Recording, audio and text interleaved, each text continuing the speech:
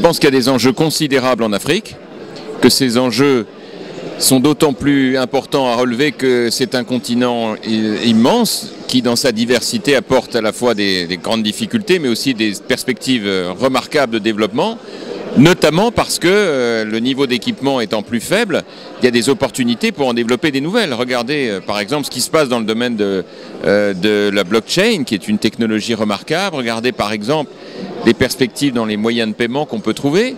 Tout ça est très encourageant et c'est ça qui montre que bah, la globalisation peut aussi apporter du plus. Écoutez, c'est sûr qu'il faut toujours les simplifier, mais en même temps, il faut surtout les rendre efficaces. il y a aujourd'hui une présence de la Chine qui a quelques avantages pour le développement de l'Afrique, mais qui a aussi quelques inconvénients.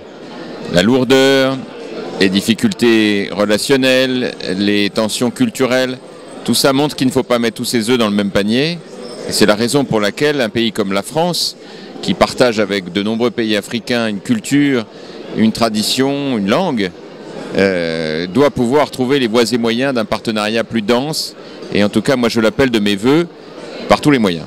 Ah oui, je pense que ce n'est pas aujourd'hui la clé de voûte du système. Je pense que imaginer un libre-échange absolu, une absence totale de contrôle de quelque nature que ce soit n'est pas toujours la meilleure solution pour l'Afrique. Je pense qu'en plus, il faut raisonner non pas de manière globale sur l'Afrique, mais pays par pays, région par région.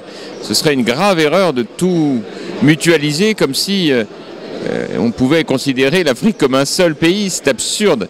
En fait, il faut travailler de manière bilatérale tout en ayant des partenariats avec les organisations qui regroupent les pays africains. C'est ce travail-là qu'il faut faire. J'espère qu'avec le temps, on progressera plus vite. Vous avez raison, tout le monde a des responsabilités partagées. Moi, je suis favorable à ce que ce soit l'un des sujets majeurs du dialogue entre les deux continents, Europe et Afrique. Je pense aussi que euh, pour qu'on réussisse l'immigration, il faut qu'on réussisse l'intégration. Sinon, ça ne sert à rien.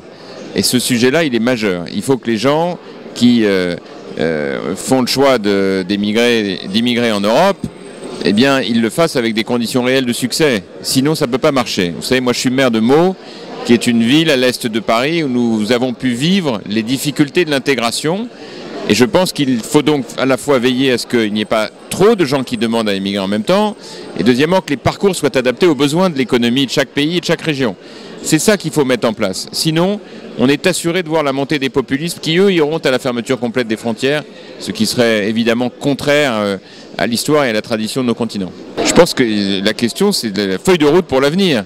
Et cette feuille de route, elle est de travailler ensemble et de voir comment on peut, à travers à la fois le co-développement et en même temps les partenariats, faire en sorte que les choses concrètes se mettent en place des deux côtés de la Méditerranée.